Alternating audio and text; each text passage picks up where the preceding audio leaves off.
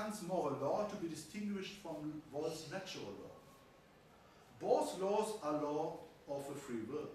But whereas the law for Wolff is a material law in Kant's language, which is known a posteriori, Kant points to the purely formal character of the law, which is known a priori. And I missed one point with reference to the distinction between natural law and divine law involved.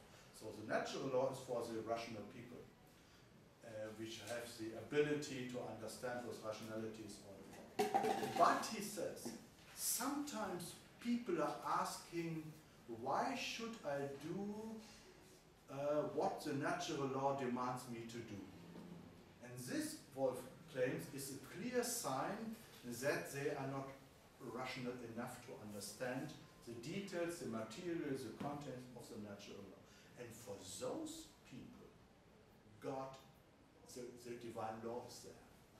So the divine law comes as an addition to the natural law and it puts sanctions to the following of the law. So you have the, so you have nature and you can look onto nature from the perspective of your rationality. Then you will see what's good and bad. But you can look uh, at the natural law also from the perspective of natural laws being divine laws. And you do that if you ask, why should I follow what the natural law prescribes me to do? And then you are looking for sanctions. And looking for sanctions mean that you are not rational enough. So for those people who ask the question, why should I be moral? God introduces sanctions. But if you are rational enough, you follow the natural law because you are rational, then you are a law to yourself. But if you are looking, asking for, uh, what, what will be the result for it? Will I be lead a happy life if I follow the natural law? Then you are not rational enough. Then you rely on the, the natural law being the divine law, that is to say, then you are not a law to yourself, but God is the lawgiver to yourself. You see? It's, it's a little bit complicated. So God creates the world, and then He creates the natural world. So God, of course, is the creator of the world, and therefore He's not the creator of the natural laws, but he expresses himself in the natural laws because it's pure rationality. There's no chance to create the world in a different way, you know, like perfect world, the best possible world. And then he says, well, maybe, maybe in the world there will be people like Klemme and so on. It's, sometimes asked, why should I be rational? And for those guys, uh, I put uh, sanctions to the natural law. And therefore, for Klemme, the natural law uh, is also the divine law. Because he knows if he drinks too much, he will die early. No? That's the idea. I know that you are more rational than me. So this is the idea. And Kant says this picture is totally wrong because there's a fourth kind of law. And this fourth kind of law, of course, uh, is the moral law. And the moral law doesn't come with sanctions, and it is not necessary to study nature to understand what the natural law, that is to say the moral law is about. It's just in you. Therefore the idea of the formality of the law. And you do not study every week to, to do so, so to speak. Okay. Professor, Yes. just, just one question here. I don't know if I understood well, but Wolff is saying that uh, if the, the person is entirely I don't know. He, he has Rational? full reason. Um, He doesn't ask for sanctions. he is rational, so he doesn't need God to act. Yes.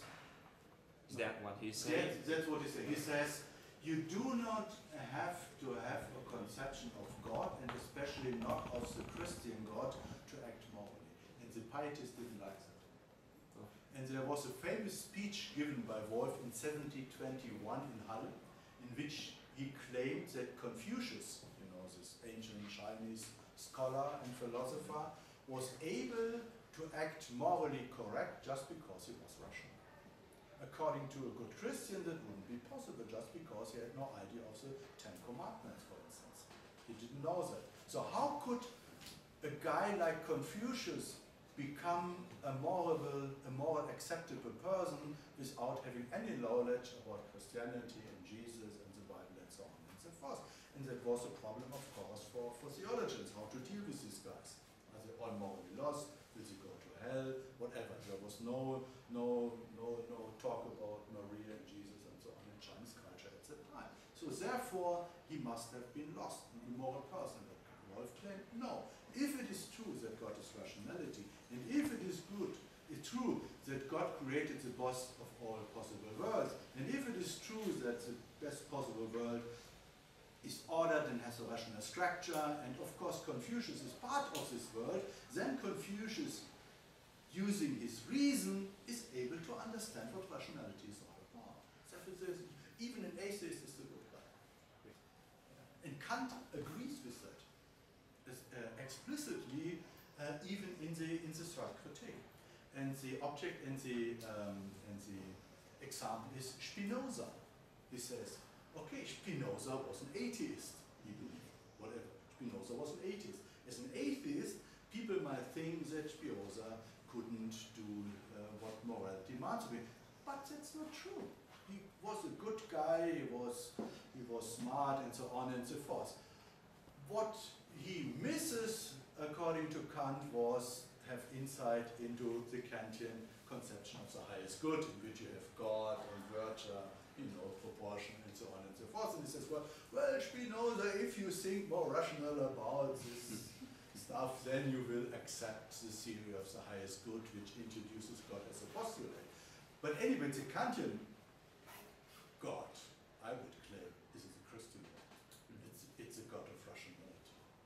There's no, no I would say, there's no really way of uh, deriving the Kantian God uh, from, from, from the Bible or specific, specific that. Kant was, you know, critical of, of, of Judaism, he was critical of, of Muslim beliefs and of everything else, and he wasn't that critical of Christianity. But if you look at the details of what he admires in Christianity, it's rationality.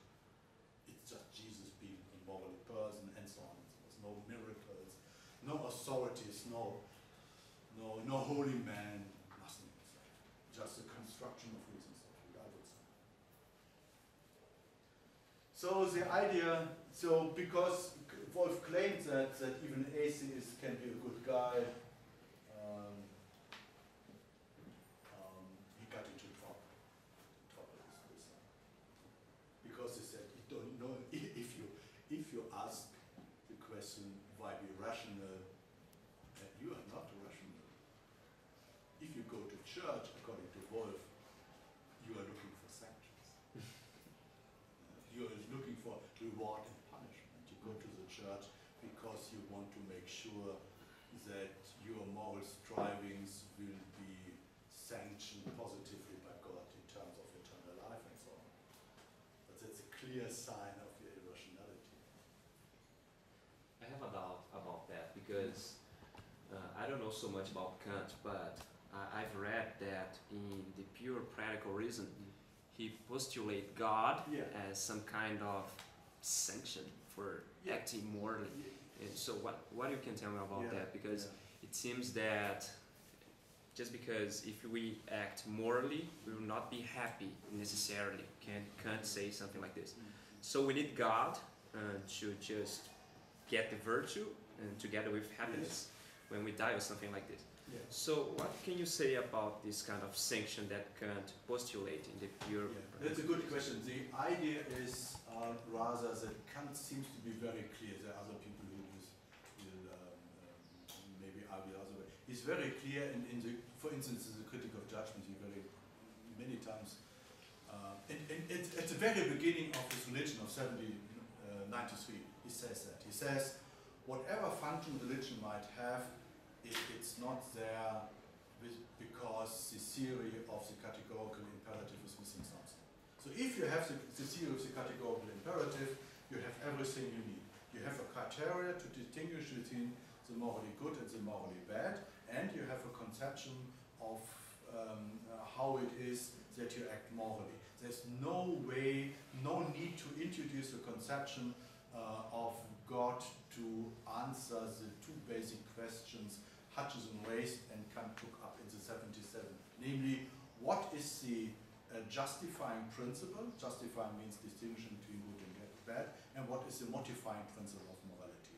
The answer to both questions is reason. But, uh, so to speak, he introduces a special concept of reason. And this concept of reason comes with the concept of interest and the concept of the unconditional. So reason also asks what is the last, what is the first reason and what will be the last effect of our thinking and striving. And there comes the question of happiness and virtue uh, in, and he introduces the idea of the highest good. But in introducing this concept of the highest good, he doesn't claim that without the concept of the highest good we, we couldn't be moral, but he says morality wouldn't have uh, a good effect without that. That doesn't mean that Spinoza does not act morally, but it would be easier for him to act morally being hopeful that his moral striving will be sanctioned, so to speak, by God, who being a judge. The God of Kant is not a salvator. He is not somebody who says, okay, I know you are a bad guy, but because, you know, I don't know the English word for barmherzig, because, you know, uh, grace, because I'm graceful, that's it, I choose you you, you, you can have eternal life and so on and so forth. It, it's my decision, I do it. Uh, this is not the Kantian God. The Kantian God is the judge in, on court. He says, okay, what did you do during your life in Brazil? Here's the law. Don't tell me, I already know. And then, and then there will be a decision, guilty or not guilty. Something like that. It's not that he says, I know you are guilty because you're a human being, but I am grateful and graceful, so to speak. And you know, this is not the Kantian God. If you find a passage in which Kant uh, says something opposed to what I'm saying just now, that God is created like, you know, you're a sinner, but it's okay, I give you a caipirinha, you get a caipirinha. this is not, and I think for Christianity, this is really decisive. I mean, that, that the God is a good God in terms of not uh, knowing what's good and bad, but also that you can have hope that He will forgive you. The forgiving God. Yeah. But there's no forgivingness in God. it's a Prussian God who reckons and looks. We are in trouble now. Yeah, but there's hope, you know. You know, this is a conception he took over from. Obviously, he took over from pietist conception. This is a change of your heart. So, although you are a bad guy today, maybe, maybe you're a bad guy today. Let's think you are a bad guy today, really bad intentions. From one moment to another, you can change. You can say, well, I was bad, and now I have, I'm reborn, uh, reborn, I changed the, the, the game of my life, so to speak. And that's what the religion is all about with this highest maxim and, and radical evil and so on and so forth. Radical evil means that you always take your own happiness first and then morality. Say, okay, but I know there's a moral law and everybody should follow it, but maybe not me, not today, not in that situation. That, that's the baddest things Kant could imagine. Uh, but you know that there's a moral law. So there is hope that you will change the game and put uh, morality first. And because of that, you can be hopeful that maybe from one moment to the other, it's typical of pietists, the radical change of your intentions, Gesinnung. That's typical. You are lost, you are a sinner, but you are reborn. You know, you, this sometimes on TV in churches. So, This is something you can do with, with Kant uh, as well, so to speak. But in terms of uh, changing what, what is your highest maximum. But anyway, he would never say that you as a human being can become holy or something like that. You will ever become, you will ever stay on earth like a human being. And there's also this maybe strange idea he introduces in the, in the religion that your moral striving doesn't come to an end with your death. So there is this creation of an idea of perpetual moral striving even after your earthly death, which comes into the religion. Now one is not clear uh, to what extent really took that personally earnest. Maybe he did, I don't know. But it's obviously the, um, the, the attempt of him to rationalize Christianity. That's what he's doing. Like the neologists um, decades before in Halle and, and, and, and Berlin and Spalding, for instance. Or call, a, a guy called Semler in Halle. They're typical. They're trying to, to make moral sense out of what uh, was given to us as, as facts, so to speak, of belief. But I don't think that Ever say, without the belief in God, you cannot either, you can neither know what, what your obligations are in, nor you will not act morally. If that would be a case, then this would be not an ethics of autonomy, but of autonomy. This is clear sign that he didn't want it. But the passages sometimes say, well, but if you read, for instance, the critic of pure reason, there you have a, maybe a different. I mean, there's a, a type of morality and uh, moral imperatives, categorical imperatives, presented in the critic of uh, pure reason as well. But it's not clear what position he really takes up there. And he seemed, in pas some passages at least, to be quite akin to the idea that without the belief in God and the hope of happiness, you won't normal. But the changes radically, I would say, in the long run. There's no, no old, um, no one of these old ideas uh, appears. There's no God. It's, as they say in uh, my, my teacher said, uh, theologie frei, so without theology. It's an ethics without theology.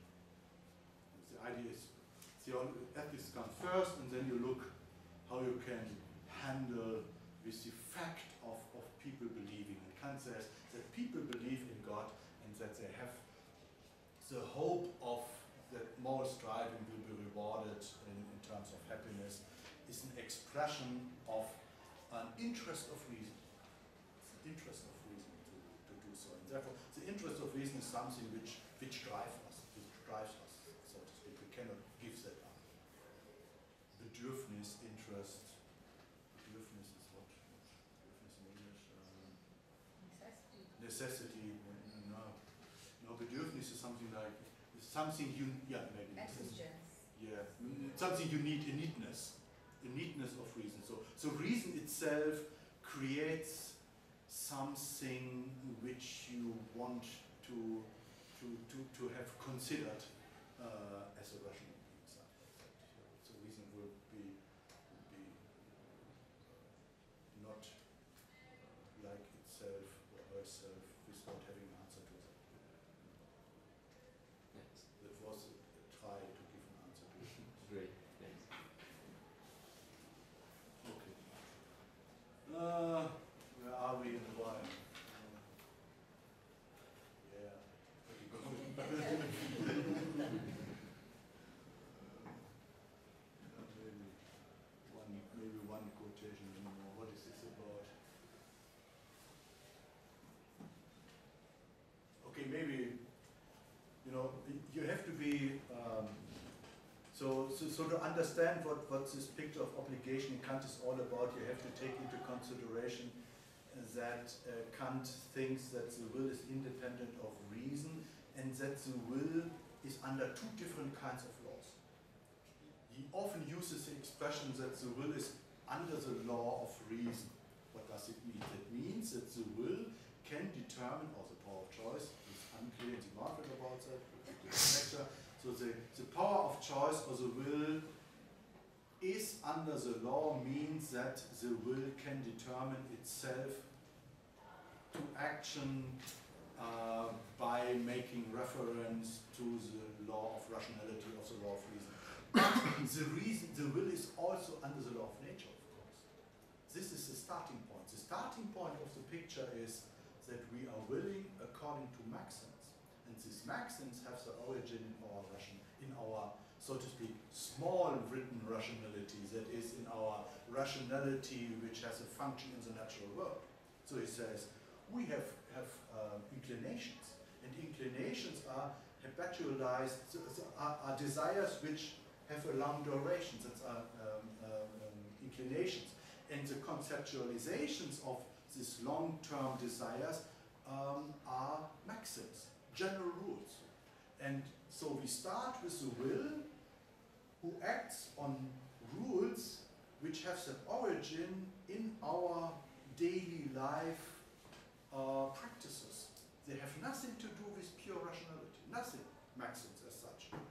And then comes the second step, and then comes pure rationality. Pure rationality gives us concepts with which we can decide whether or not the form of this maxim uh, complies to the form of pure rationality.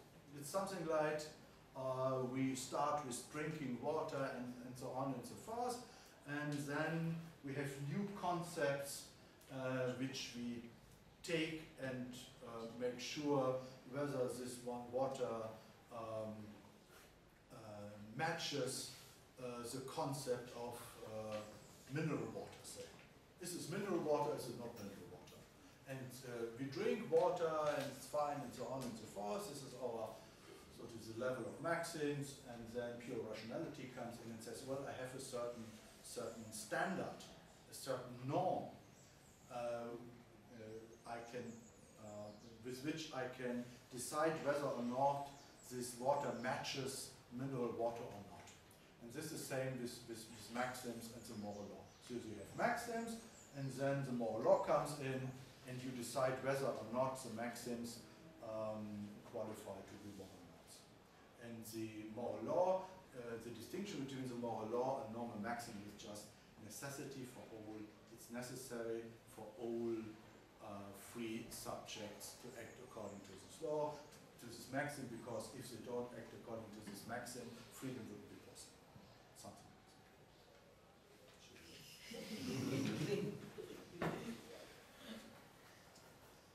so here we are.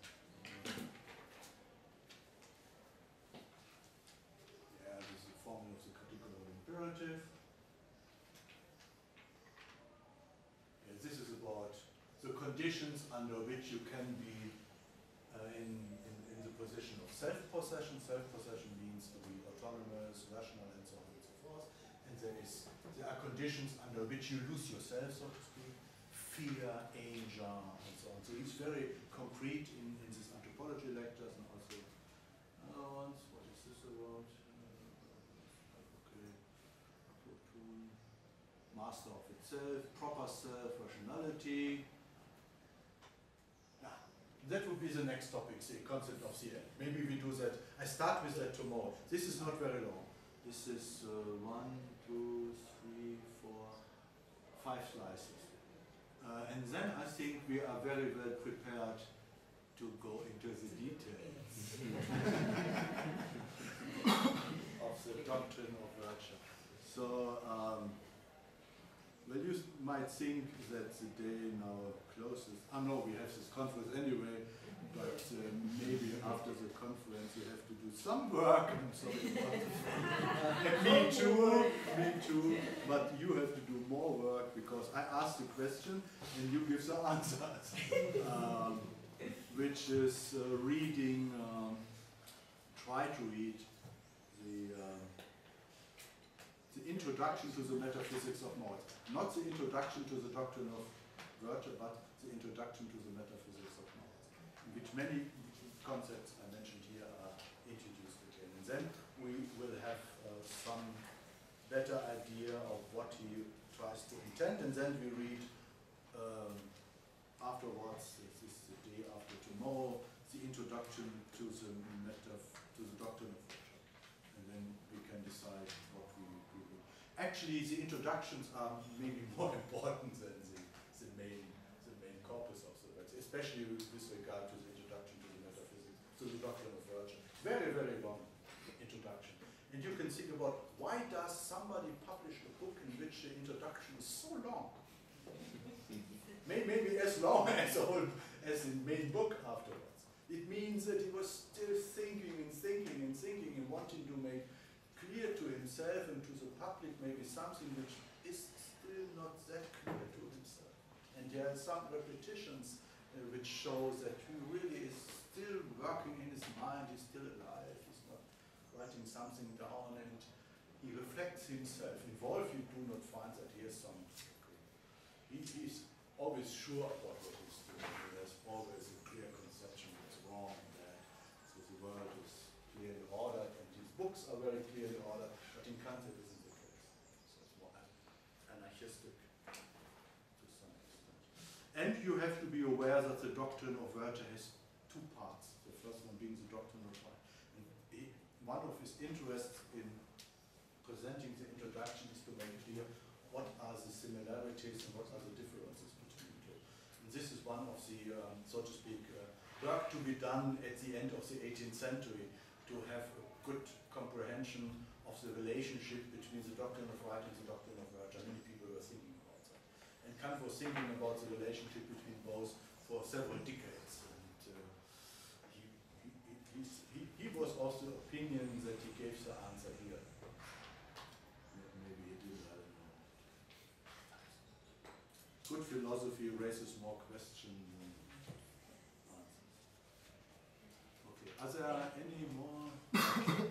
Maybe tomorrow.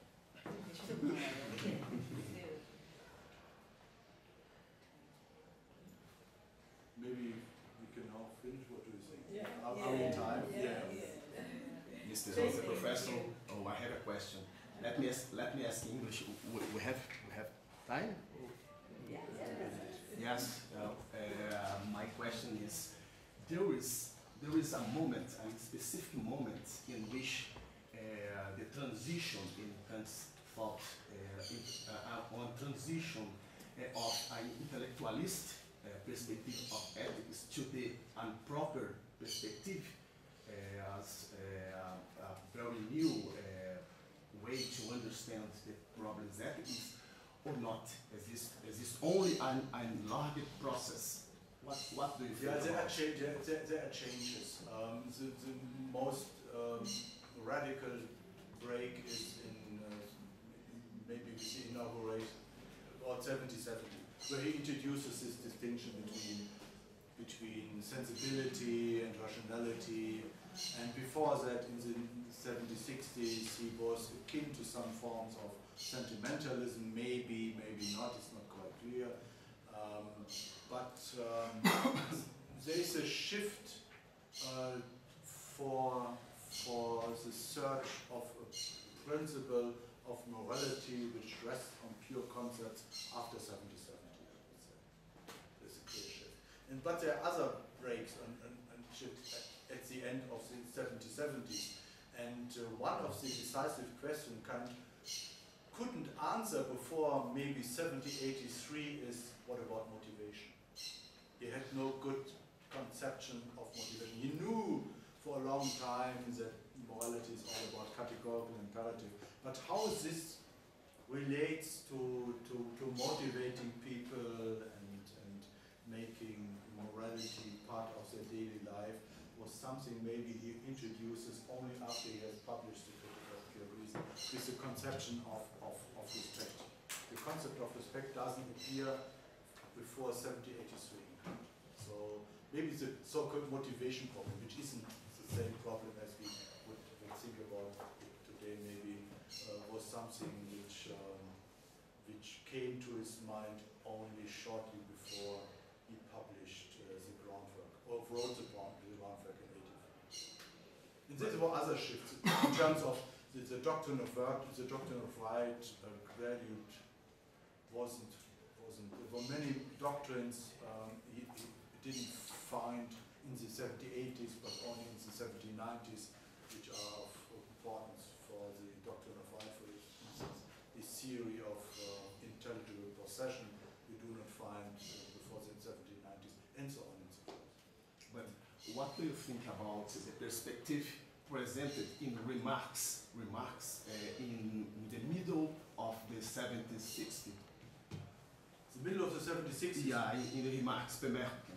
Yeah, uh, which, which do you mean? The, the one in the Beobachtung or, or, uh, other reflections? There is a perspective, uh, I'm at uh, something, uh, some, something about the uh, perspective uh, of ethics of Kant, uh, later, of later Kant, or the, Yeah, yeah, there, there are, you know, there's a theory that um, that Kant already achieved or got insight into the main ideas of the categorical imperative in the 1760s, uh, because there are some reflections which show in this direction. But I'm not, I'm not convinced of that, especially not with regard to the. He has no formulas of the categorical imperative. He has no idea of autonomy. He has not found a clear answer to what his obligation is all about. He has especially no idea about the sensible and the intelligible world. So although he talks about the categorical imperative, he, it, it, it's not clear to himself what that all means. Okay. Thank So thank you. Thank you so much.